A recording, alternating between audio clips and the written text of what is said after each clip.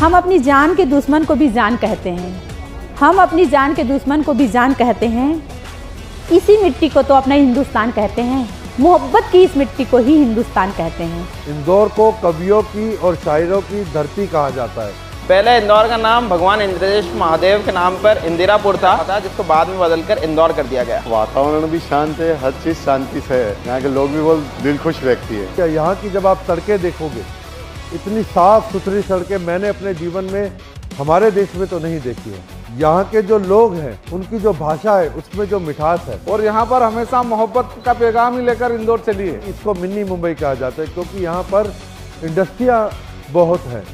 और देश की जो मिनी फाइनेंशियल कैपिटल भी इंदौर को कहा जाता है। महँगाई, लाचारी और किसी को बोलने का अधिकार नहीं, उसके लिए भारत जोड़ो यात्रा से जुड़े। जो राहुल गांधी जी पूरे देश में यात्रा करके आपस में जो नफरत है, उसको मिटा के प्रेम से रहें, यही मैसेज हम भारत जोड़ो यात्रा से पूरी दुनिया में दे रहे हैं।